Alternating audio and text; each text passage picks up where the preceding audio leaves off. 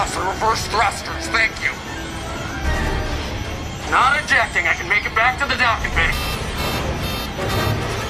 You know what? This conversation's over. All right. Ah.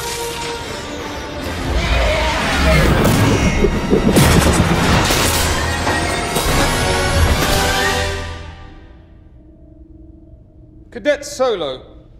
Still can't decide if you're brave or stupid.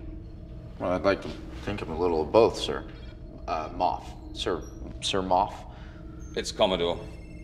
And if you think smartass is the way to go here, you're sorely mistaken. Commodore. Fellow Imperials, if you'll allow me. Onyx 2.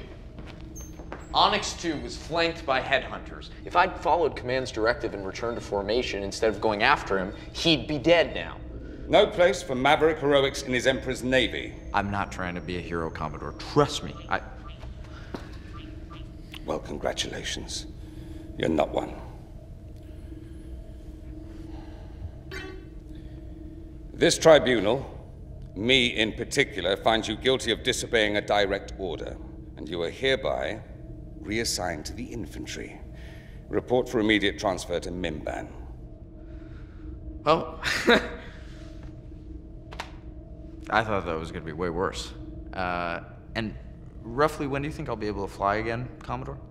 Oh, We'll have you flying in no time.